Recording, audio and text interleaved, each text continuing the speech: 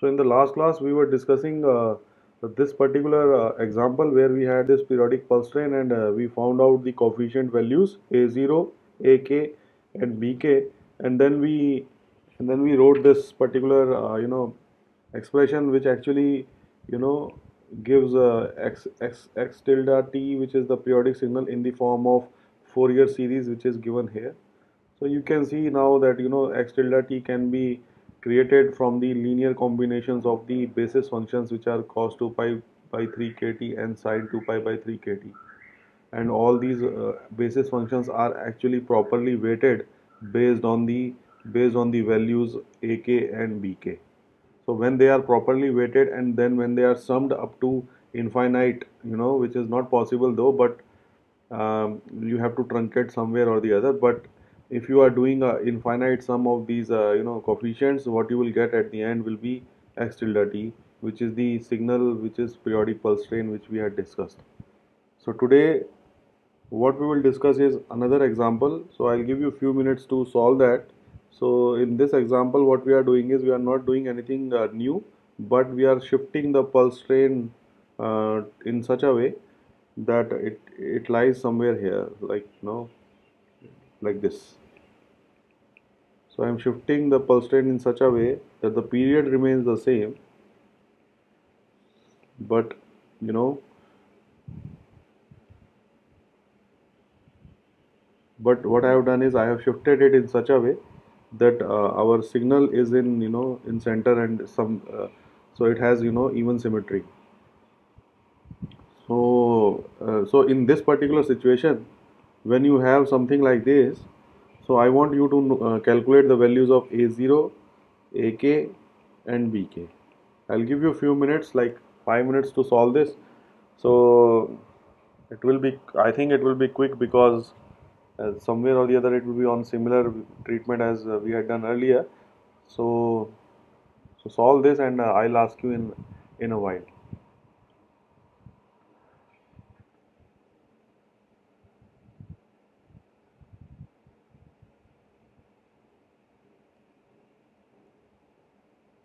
and regarding the exam uh, uh, it will be on Tuesday and from uh, in our normal tutorial session so so the syllabus will be up to up to up to Friday basically uh, tomorrow where whatever we will be finishing up up to that time that will be included in the syllabus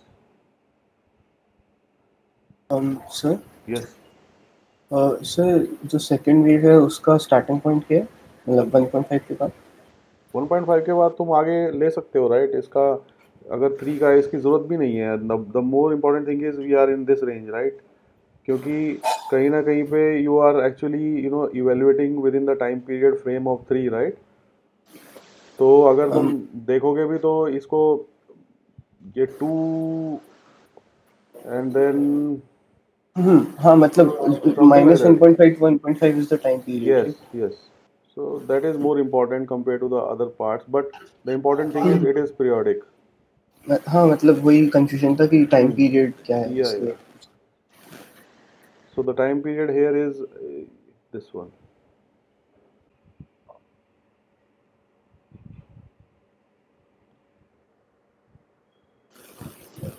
sir A not is 1 by 3 same as the so previous one. so what you are saying is a naught is 1 by 3 okay Uh, then AK is coming out 2 by k pi sine pi k by 3. sine pi k by 3 okay then what about bk 0. okay anyone else what's your name Yes, sir. My answer. Mine yes yes uh, Sanket. okay yes Sir, my answer is also same. Same. Okay, good. So, so this means uh, most of you have solved it. But uh, in case if somebody hasn't, so I will I will do some part of it so that you can you know uh, just be on that same page. But you have to solve the integral yourself. So one of the important observations that you can see from here is like you know first of all this signal is even symmetric.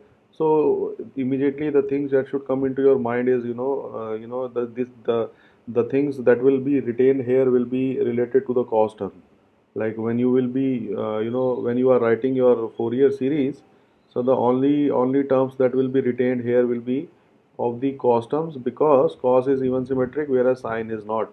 So you, immediately you will realize that somewhere or the other your bk coefficients will be zero when you see this signal. So that is indeed true also when you will you know evaluate that integral. But you can reason out that even since the signal is even symmetric then uh, the corresponding coefficients bk of sine signal will be 0 because sine is also because sine is odd symmetric. So based on that uh, calculation there is no need of calculating bk you can you can answer it on that way also. Whereas in case of uh, you know because it's a even symmetric so definitely the coefficients ak will be there. So that's why you are observing the coefficients ak here. So there is nothing fancy about in this calculations so it's just substitution of the values so you know that a0 is actually you know just a second. So a0 is nothing but 1 over t0 integration t0 to t0 plus capital T0 x periodic signal dt so you know that the time interval is 3 and what you are doing is your integration will be now from minus 0.5 to 0.5 because from minus 1.5 to 0.5 the limits are you know the value is 0 from 0.5 to 1.5 also it is 0 because your integral limits will be actually initially 1.5 to 1.5 that is minus 1.2 1.5 so you can break that integral into uh, multiple integrals 1.5 to uh, minus 0.5 then minus 0.5 to 0.5 and then plus 0.5 to 1.5 so once you do that, this integral evaluation will be 0 here because there is no signal this side and no signal this side. So obviously these two will evaluate to 0 but the only one which is left is the middle one. So here what we are uh, so so so that's why this integral is reduced to minus 0.5 to 0.5 and you have 1 in between and if you solve this it's easy its value will be 1 by 3. Similarly, if you calculate the value of the coefficients ak which is actually nothing but 2 by t0 integration from t0 to t0 plus t0 x tilde t cos k omega naught t dt. So you know that the value of omega naught here is 2 pi by 3. So you can put that value here and then when you solve this integral which will be like you know between minus 0.5 to 0.5 and and this value will be 1 over there. So when you once you solve that integral what you will get is actually it's the integral is basically if you see it's this one cos 2 pi by 3 kt dt. So once you solve this integral you will get the answer what he has told this one. Similarly if you go for the value of bk that will also turn out to be equal to 0 when you, you, when you follow the same evaluation. But the only thing that is changing over here is that you will have sine k omega naught t. So once you once you substitute these values the answer will come out to be 0 for bk so this finishes off with the example. So now let us say if i if i make this uh, you know signal change a bit so what I will do now is I will you know make this signal like this. So it has the variation which is like this.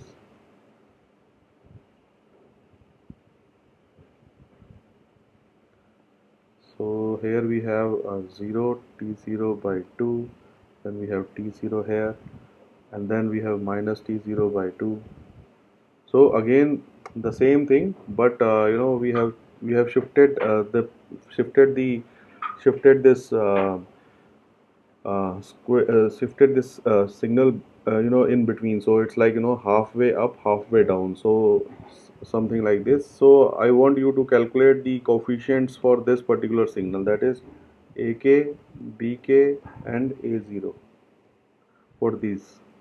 Giving you few minutes to do that so again you know that the time period here is t0 so uh, so so you know how to calculate these coefficients. So let me know what are the values of ak bk and a0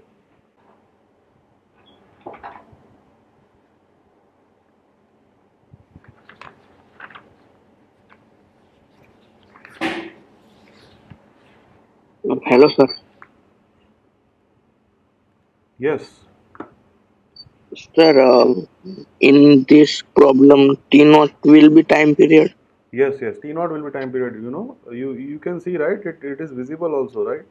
Here you see, Yes, you sir. know, whatever is Mhm.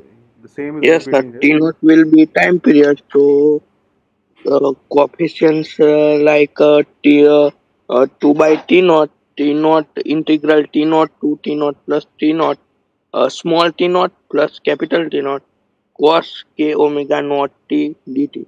No, no. So the, value of AK, what you are getting? Okay, sir. Yes. Uh, yeah, I want that value actually. So see, the important thing is for you people. I think some doubt are still remaining for you people. I guess you, irrespective of the irrespective of the domain where you are actually integrating, there is you know answer will come out to be same. Whether you integrate here or you integrate in between these two, answers will be same in this integral or in this integral. So that has to be kept in mind. So note that it's important but you have to you know complete that time period whether you are moving from minus t naught by 2 to t naught by 2 or you move from 0 to t naught the answer will come out to be same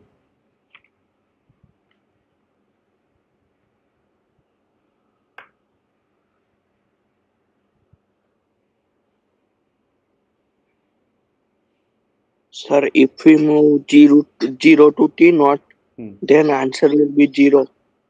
for ak Uh, yes, sir. okay so what you are saying is ak is 0 okay what about a0 and bk Sir, I am calculating. okay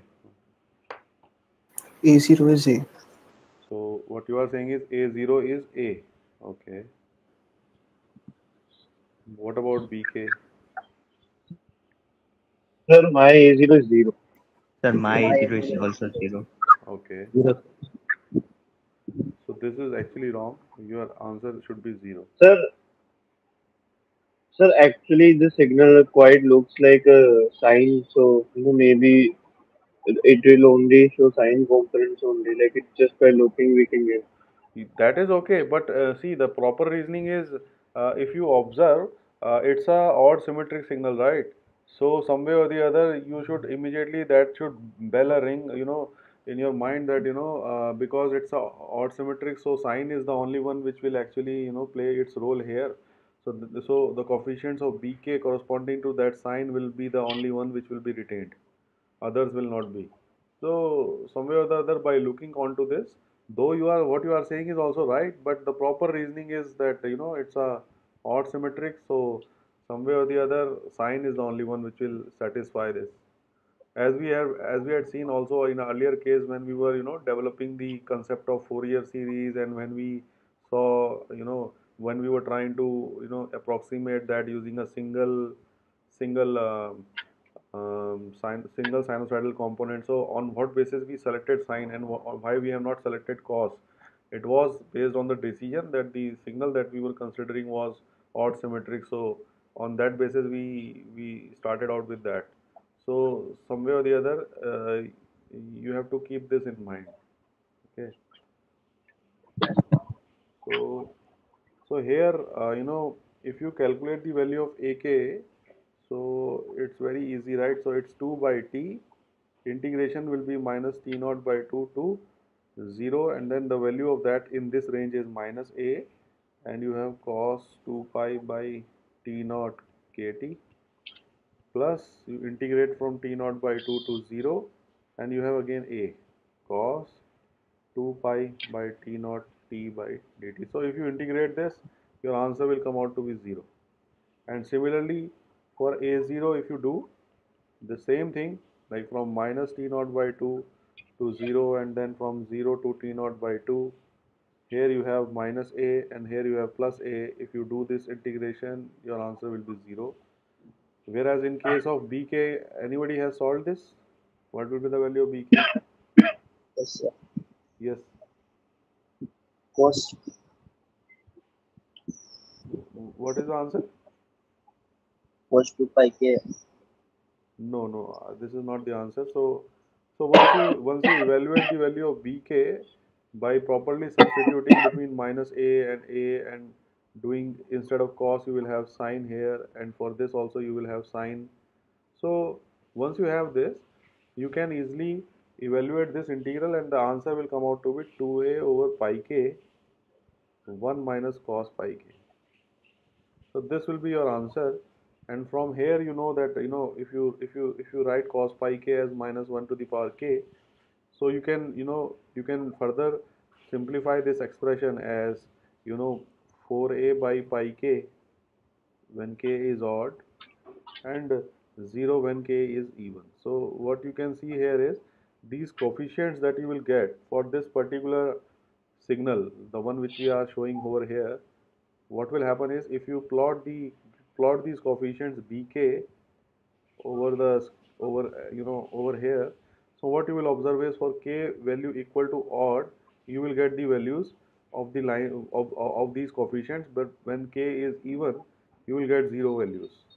So so these are the these are this is the result for the value of bk and your a0 and ak are all zero because you have immense because the signal is odd symmetric Okay, so now once we have uh, you know expressed our Fourier series in the trigonometric fashion, we can also express this in other other uh, in other representations also. So the the second representation uh, which we are discussing today is exponential Fourier series. Exponential. Please uh, mute your mic, whosoever is there. Uh, voice is coming. Exponential Fourier series, which we are calling as EFS earlier earlier was a trigonometric Fourier series. So the important thing to discuss here is you know both of these uh, both of these series like you know they are just the representation form. They are not providing you anything extra information here but they are just the uh, way of expressing uh, you know the the expression of Fourier series. So normally exponential Fourier series are a bit easy to you know handle out. As we will see later on also they will be used in our system functions so we will restrict our you know um, you know study to exponential Fourier series because what you will observe later on somewhere or the other this will actually helps you to understand what Fourier transforms are. So so this is actually an important uh, way of expressing the Fourier series in the exponential form. So let us let us see what is what what this is. So what happens is now we are trying to express your x tilde t which is the periodic signal in the alternative form. So now in the alternative form what we are doing is we are considering the complex exponential functions which are j k omega naught t and your k right now will be ranging from minus infinity to infinity. So what we are trying to do is we are actually trying to express now x tilde t as the linear combinations of e j omega t now. So this is basically now your basis function. Earlier your basis functions were cos and sine but now what we have done is we have actually combined these cos sine you know in a in a in a single in a single expression and we are calling this ej k omega naught t as you know a basis function. And we are trying to understand how we can you know make x tilde t out of these basis functions. So what we will do now is we will express our x tilde t here as a linear combination of them as you know uh, in our earlier case also where we discussed trigonometric Fourier series there we expressed uh, our signals in the linear combination of cos and sine. Similarly here also we will express this as a linear combination of e j k omega naught t. So in order to do that what you will do is you will you will write like this. So here you know ck are the coefficients which are weighting these basis functions e j k omega naught t and these are the coefficients which actually uh, somewhere or the other similar to ak and bk that we had discussed earlier. So if we if we go on the similar lines as we had done in the case of trigonometric Fourier series where we derived the values of a0 ak and bk from the first principle we will do this similar analysis here and we will try to see what value of ck comes out to be in order to you know properly weight these ck's with this basis function so that the final result when you sum them up from minus infinity to infinity will provide you with x tilde t.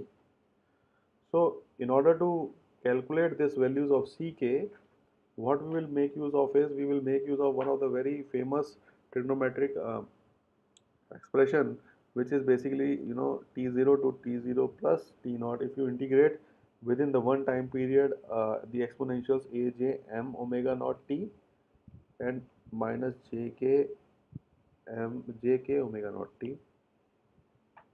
So if you if you if you integrate these two exponentials where both of them are like one is multiple of m another one is multiple of k and if you integrate it within the one time period you can check it out also. You can derive yourself this expression uh, for this uh, thing it will come out to be value of t0 when m is equal to k and is 0 when m is not equal to k. So this is very important expression that we have already in our hand. As you integrate the two exponentials only when the two m and k are equal then only your result will be equal to t0 otherwise it will not be equal to 0 uh, otherwise it will be 0 so here another important thing is uh, to keep in mind is that this ck's can be complex number also. That is also important. So this value of ck that you will obtain here will be you know may or may not be you know depends upon the situation about the type of the signal that you have. It can be real as well as it can be complex. So in order to in order to find out the values of ck let me copy this here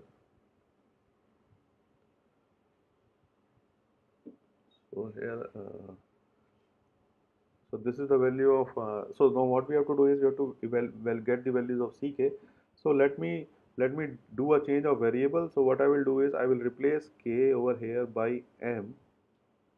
So if I do that so what we will have is cm e j m omega naught t. So what we are doing is just replacing the values of k by m. So it will not harm our expression. So just it's just a variable uh, you know we are changing the variables. So now on the left and the right side on both the sides we will multiply it by the exponential. So let me multiply it by minus j k omega naught t.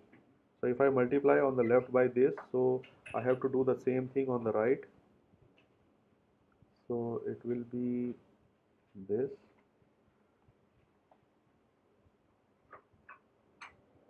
and then we have summation running from minus infinity to infinity cm jm omega naught t. So as we as you know we have uh, multiplied by this expression on the left and the right side.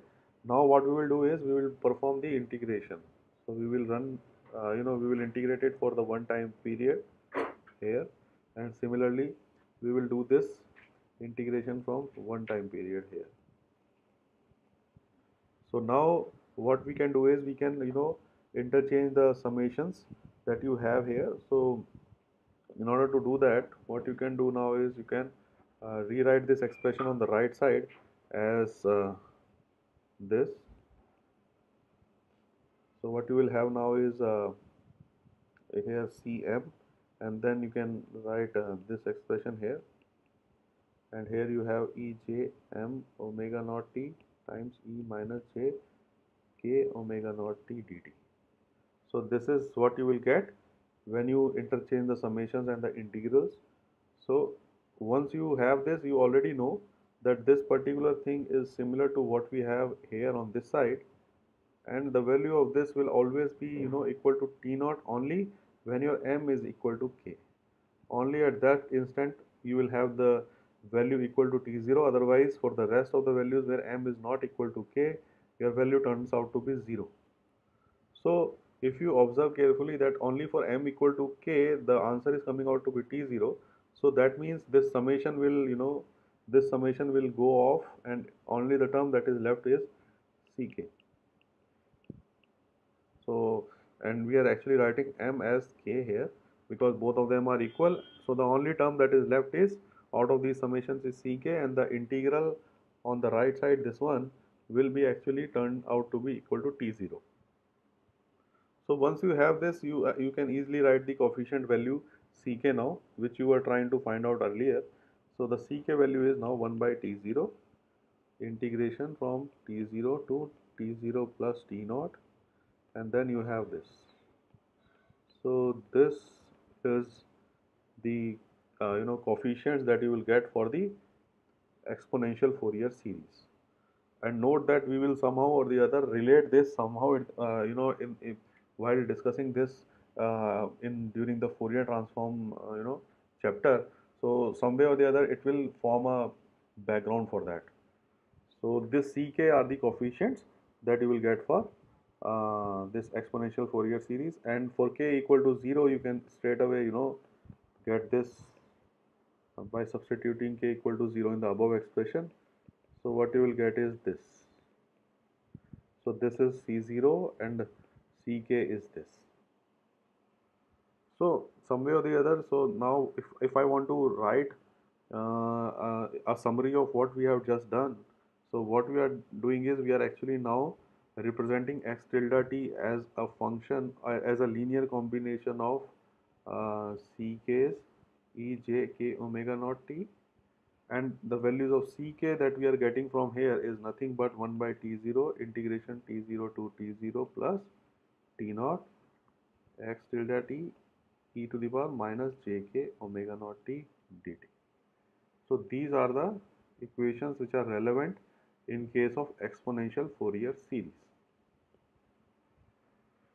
So once we have this, so some so let's find out is there any relationship between the exponential Fourier series and the trigonometric Fourier series that we had discussed earlier. So in the exponential Fourier series, we have these coefficients ck and the, in the trigonometric Fourier series we have coefficients a0, ak and bk. So what we want to know is what is the relation between these coefficients like in uh, ck and a0, ak and bk. So if we can know the relation between these two coefficients, we can possibly you know um, uh, interchange between the two. Like for example, if you know the coefficients of the trigonometric Fourier series already, you can immediately calculate the values of ck if you if you know this relation which is we are going to derive and if you know ck you can go the other way around in calculating a0 ak and bk uh, if you know exponential Fourier series so there is a you know there is a relation between the two so let's try to explore that relationship. That is what how these coefficients are actually related with each other.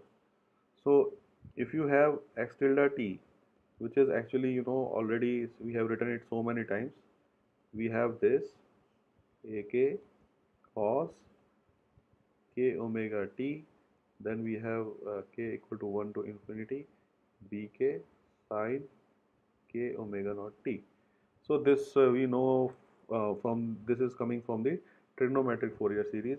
And you know that uh, similar thing can be written in case using exponential Fourier series also. So which is uh, ck e j k omega naught t. So we can we know this.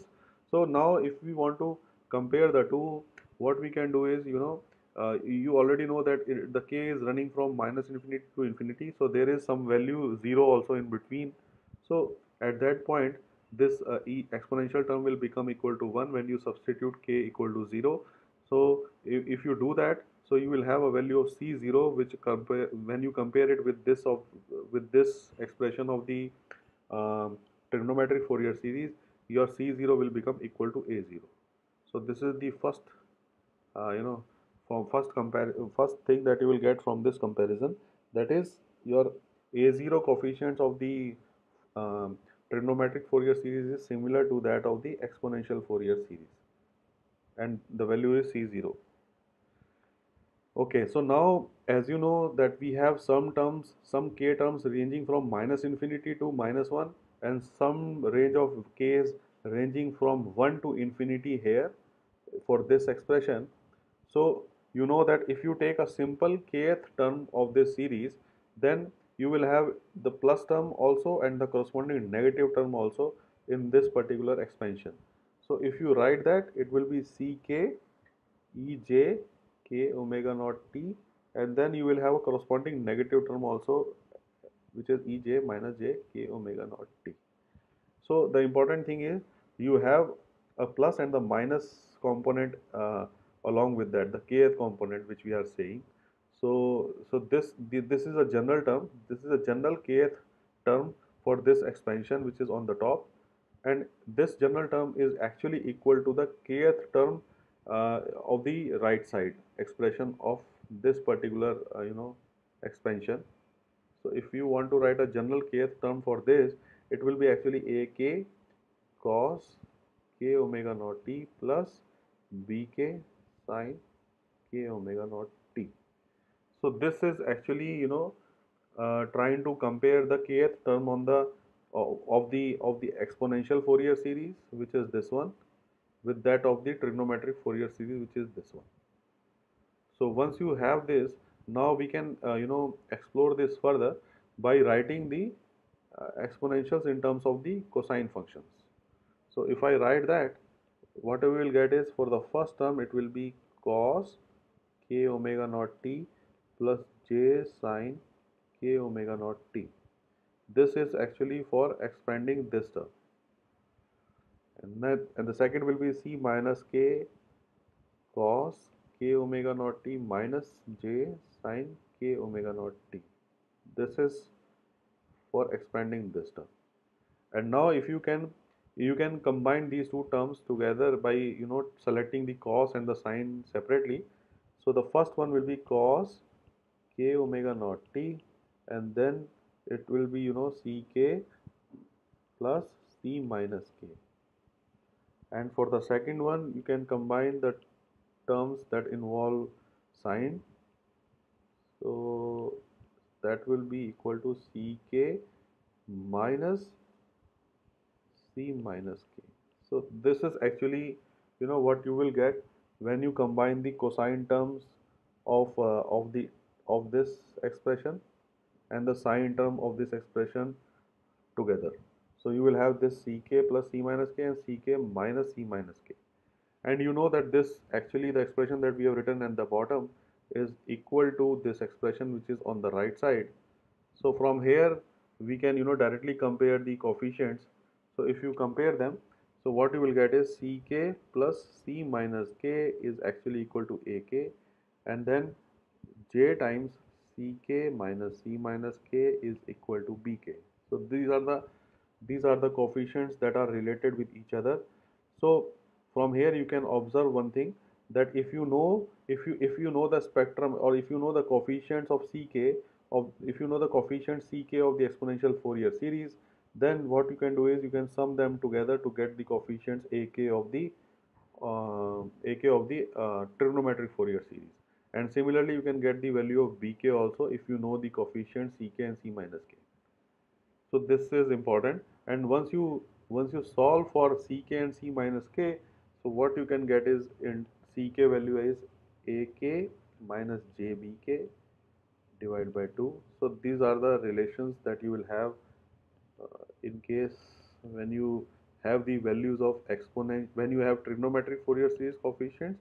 And then if you want to calculate the uh, and then if you want to calculate the values of ck and c minus k you can get it from ak and bk using this expression. So this is basically the relation between the exponential and the trigonometric Fourier series. Any questions here related to